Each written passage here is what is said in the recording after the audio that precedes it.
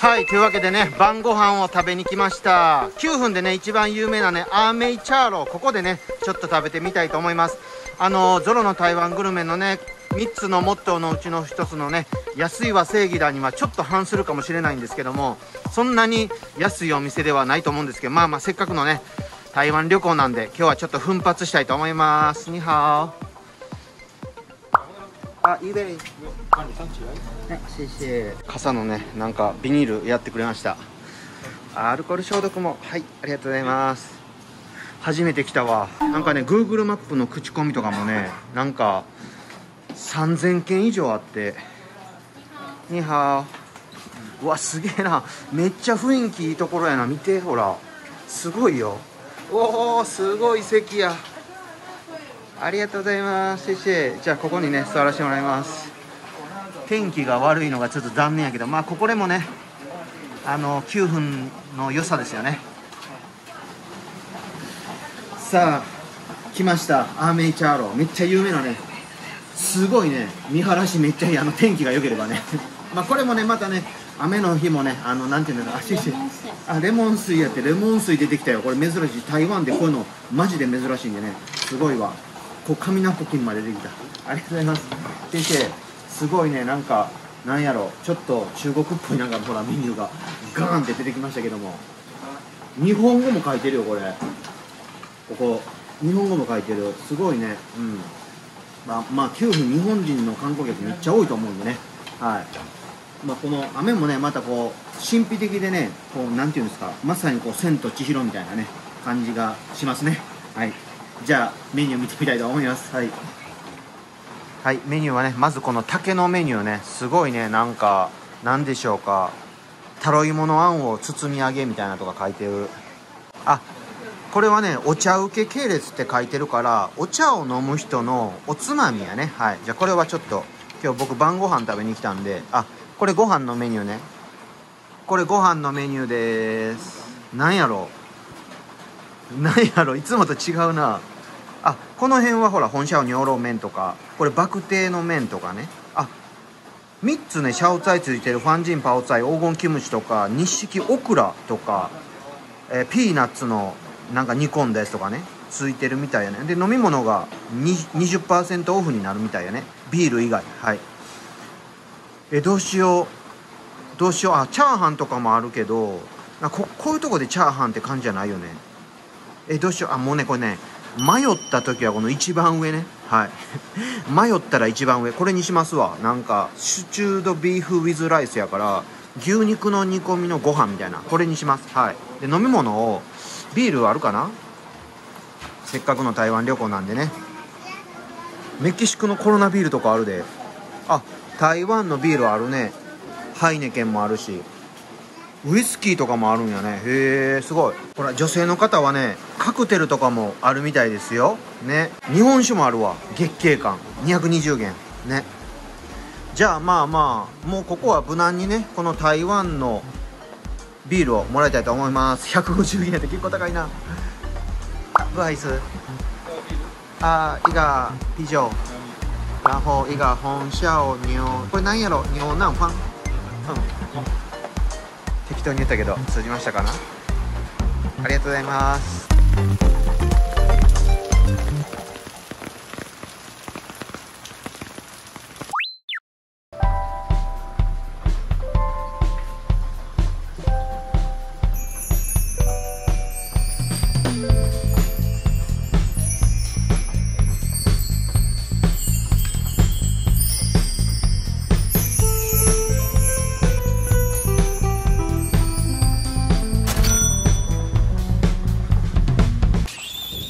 はいじゃあね9分でね一番有名なねアメイチャローかな。はい来ました。ちょっと贅沢に。はいやってきましたね。いやーあいにくの雨ですけどもまたこれはこれでねおつなもんですね。はい。でなんかね牛すじの煮込みのご飯みたいなやつ。なんかビーフストロガノフみたいな感じのが来ましたね。ご飯が。おしゃれ盛りですけども。はい。美味しそうやね。うん。でシャオツァイがね3つついてました。黃金泡菜キムチ黄金キムチと台湾のね。でオクラのシャオツァイかな。あとピーナッツの煮物みたいなやつが来ましたね。あとねお吸い物みたいなやつがついてます。そして台湾ビールをねせっかくなんで注文しました。じゃあまずねビールからいきましょうか。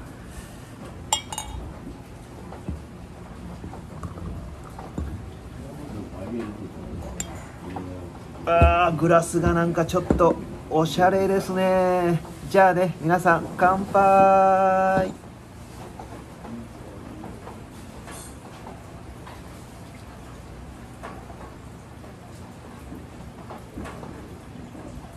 あいやー台湾ビールはマジでね味が薄い。ー まあまあこの雰囲気がねまああるからよしとしましょうみたいな 謎の上から目線ですけどもはいもう一杯有楼上九个。好，是哦，吃饭吗？哎，吃饭加一个。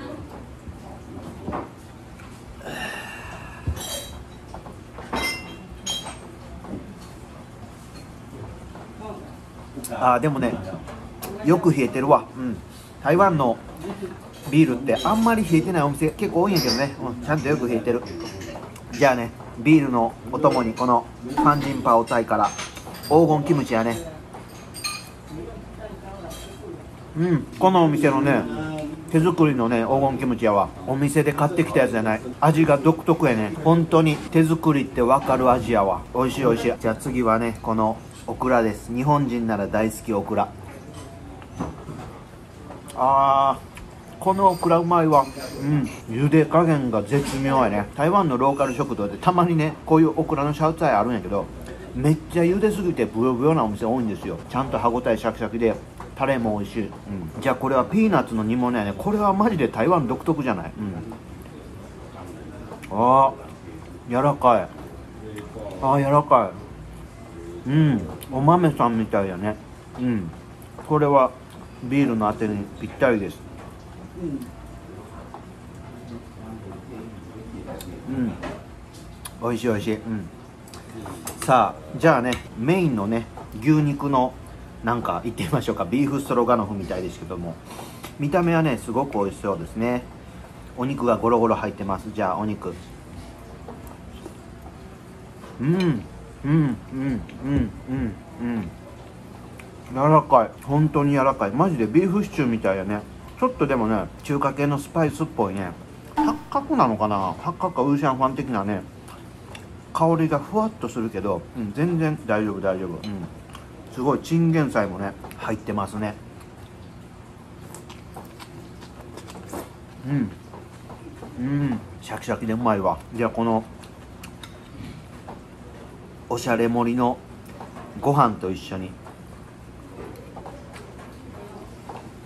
うんうんうんうんうん。うん。お米美味しい。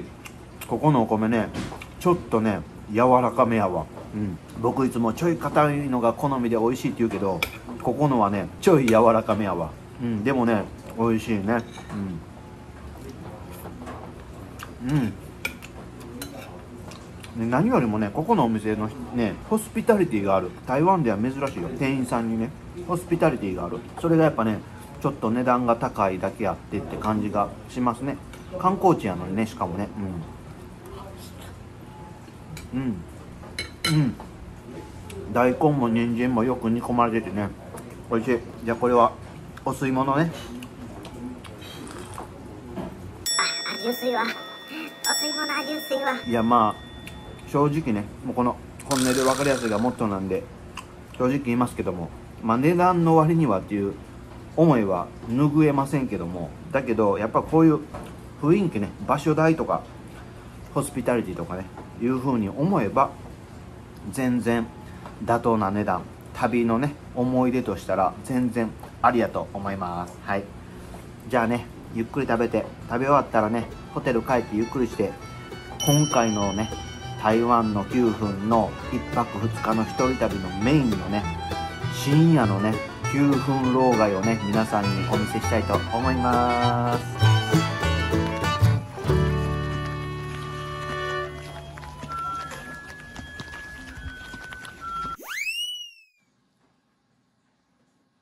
さあ皆さんこれがね深夜の9分老害です。本当に誰もいない。誰もいない9分老害です。これぞまさにね千と千尋のね神隠しにあったかのようなね本当に誰もいないね9分老害なんですよ。これね9分で1泊しないと絶対に見れない風景なんですよね。すごくないですか？本当に誰もいないんですよ。これね今はコロナ期間中やからお昼間もそこまで人いなかったから違いがわからないかもしれませんけども本当にねピークの時のコロナ以前のねもう人が歩けないぐらいのね9分しか知らない僕も昔その9分しか知らなかったんですよ。でこの深夜の老害ねもう衝撃受けた。これぞまさにね「千と千尋の神隠し」って思ったもんね。はい。って言ってたら 前方から2人組が来ましたけどもこれはちょっと珍しいことですね。はい。いやちょっとね。どうですか皆さん。これ皆さんに見せたかったんですよ。めっちゃ神秘的じゃないですか。本当に。これ本当にねもう何回も言うんですけど9分って大体99%日帰りでね観光に来るんですよ。台北市内から1時間で来れるんで。で見どころも別にそんな多いわけじゃないからわざわざ1泊する人いないんですよね。それがですよ。こうやってね1泊するとねもう本当に99%の人が日帰りで帰るって言ったから99%の人が見たこともないあなただけがね見たことのある9分が見れます。1泊するとね。はい。いやーこれをね今日皆さんにね見せたかったです。それでもちゃんとマスクつけてるっていうね。律儀な男ゾロと呼んでください。はい。さあじゃあね今日はねもう帰ってゆっくり休んでね明日はねまた2日目ね9分の朝でね朝ごはん何か美味しいもの探したいと思います。じゃあねまた明日おやすみ。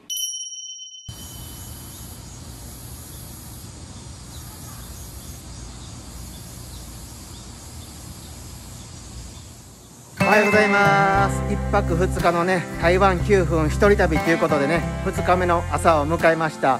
いい天気やね。素晴らしいね。景色が素晴らしいですね。はい。じゃあねここのね9分老街にね1軒しかないね台湾のね定番のね朝ごはんを今から食べに行きたいと思います。おはよう猫吉。おはよう。ほら見てください。これあのウーユエンって言ってねタロイモボールをね手作りしてるこうやってやってるんやね。すごいね。わあ手作りやわ。ね。ありがとう。シェシェ。シェシェ。い。やいいもん見れた。あんだけさほら一生懸命一生懸命こねてるから9分のウユエンタロイモボールはもっちもちなんやろね。うん。弾力がすごいあるもん。はいここがね9分老街の入り口ですね。はいこれをねこっちにまっすぐ行ってセブンイレブンをね通り越したところにね1軒だけねこの9分の老街で1軒だけ唯一ね定番の台湾のね朝ごはん屋さんがあります。それが今そこねバイク止まってるでしょ？バイク止まってる。ここです。9分朝ごはん屋さん。ここここ。じゃあね食べさせて。あこれネイヨできないね。あのネイヨほらちょっと今コロナの期間中やからできないから你好啊一个原味蛋饼好，一个原味蛋饼。嗯然后冰豆浆嗯，冰豆浆没有没有冰豆浆，给啊温的。じゃあビントジャンないからダンピンだけでいいかな。あだダンピンだけで。はい。OK。うんシェシェほんまは多分ねこう中で食べれると思うんやけど。ワイタイねお持ち帰りで。持っていきたいと思います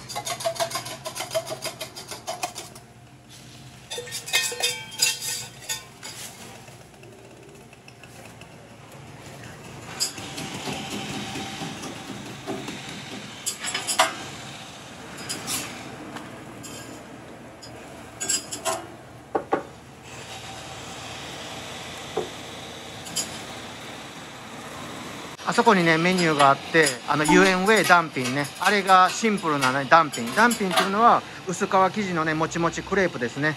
薄い卵焼きを巻いたこんな感じでね、はい、シンプルなね台湾の朝ごはんです。30元ですね。30元。はい。ありがとう。谢謝はい、ありがとう。ありがとう谢謝買いました。さよなら。買いました。単品ですはいというわけでね軽めの朝食ですね。単品買ってきました。薄皮生地のもちもちクレープの薄いネギ卵巻きですね。はい。台湾の本当に定番中の定番のね朝ごはんです。子供からお年寄りまで大好きですね。みんな大好き単品です。はい。シンプルにねユエンウェイってね何にも入れないですね。注文しました。はい。じゃあねいただきます。うん。シンプルやわ美味しい。うん。これね。タレもついてるんですよ。ほら。甘辛い醤油だれとテンラージャンって言ってね。これも甘い。なんかチリソースみたいなやつね。これつけて食べてもね美味しい、うん、ちょっとつけてみようか。シンプルなのが好きな人はもうつけない方がいいかもね。僕もシンプルなやつ好きなんやけどここのねダンピンはちょっとね味が薄いかな。じゃあこれタレつけてね。あー美味しいな。うん。ここのタレねめちゃめちゃニンニクが効いててね美味しい。うん。でこれね中開くとこんな感じでね薄い生地ねこれがもちもちしてるんですよ。クレープみたいなやつね。でネギ卵焼きがね巻いてるっていう感じですね。これがダンピンです。はい。うん。美味しい。うん。うんだシンプルイズベストやね。うん。これチーズ入れたりねベーコン入れたりしても美味しいけどね、うん、さあじゃあ食べ終わったらねホテルチェックアウトしてね台北にねバスに乗って帰ろうと思います。またバスの乗り方もね分かりやすく説明しますんでね安心してくださいね。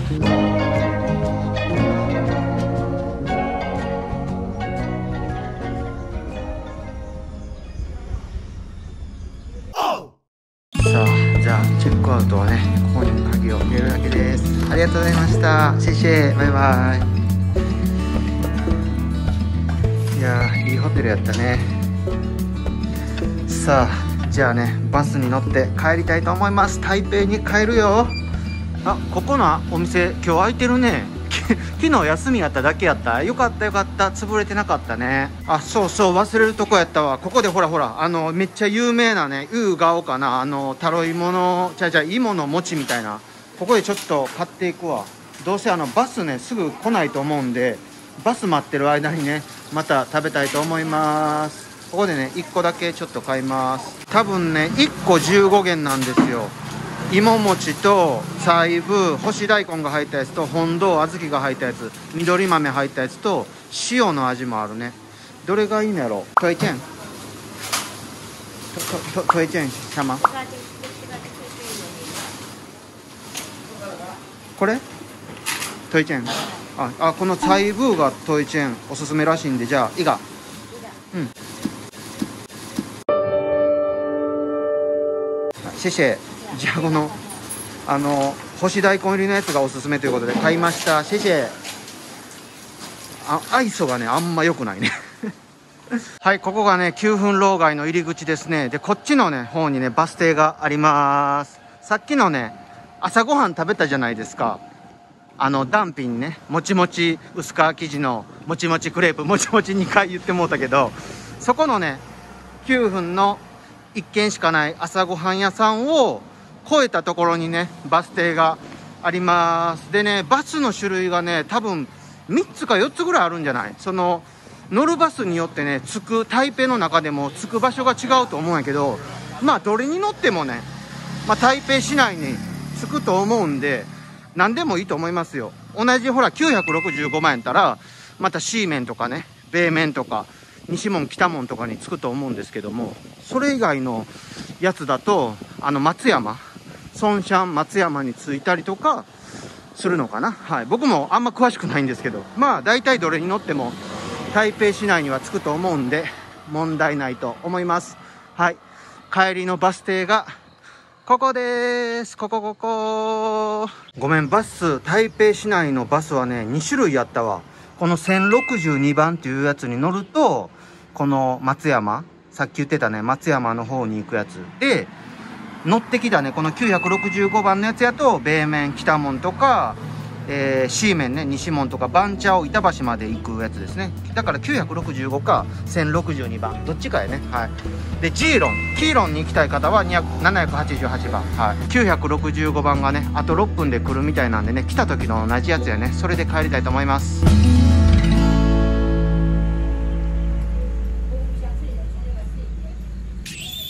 はいじゃあね。バス来るまでの6分間でこのね買った有名なあんま愛想よくなかったけどな。あのユーガオかな。芋の細部多分干し大根が入ったやつかな。うん。おすすめのやつお母さんおすすめのやつね。はい。じゃあねいただきます。うん。うん。うん。干し大根の千切りが入ってて甘じょっぱい。うん。お餅がすごいもちもちしてて弾力がすごいあるね。うんうんうんうんうん。確かにこれは美味しい。うん。ただこの細部ね干しエビの風味がめっちゃきついから僕干しエビエビがあんま苦手とかアレルギーなんでこれは今度小豆のやつにしとけばよかったなって思います。でもねお餅自体はすごく美味しいからこれは食べる価値あるんじゃないかなって思いますね。はい。じゃあねバス待ちたいと思います。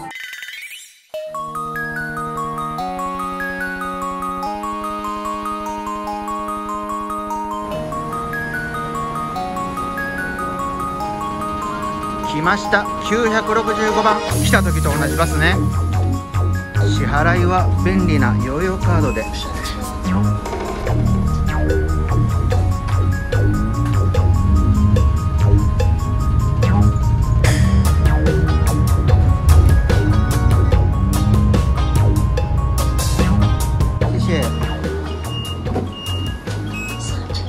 75元300円やね。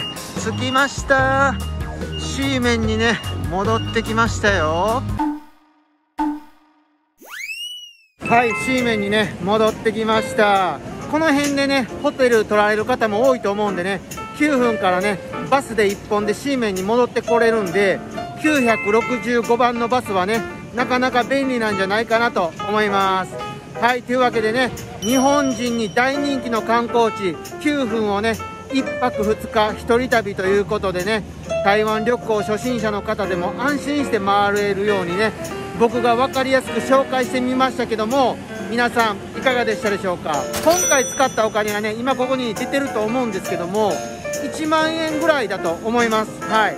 あのホテル代も込みでね往復の交通費とかも込みででちょっと贅沢してアーメイチャーローでねディナーとかも取ってそれで1万円やからだいぶ安いんじゃないかなと思います。はい。なかなかね台湾旅行に来て9分にね1泊する方っていうのは少ないと思うんですけどもちょっと大人の台湾旅行じゃないですけども余裕を持ってね1泊したら泊まらないと味わえないね神秘的な9分もね体験できると思いますんで是非ね9分に1泊っていうプランもね考慮してみてはいかがでしょうか。ゾロ的には割とおすすめのプランだと思います。はいというわけで今回の動画がね少しでもね役に立ったな面白かったなと思っていただけたらぜひチャンネル登録とねグッドボタン押していただけるとめっちゃ嬉しいんでねよろしくお願いします。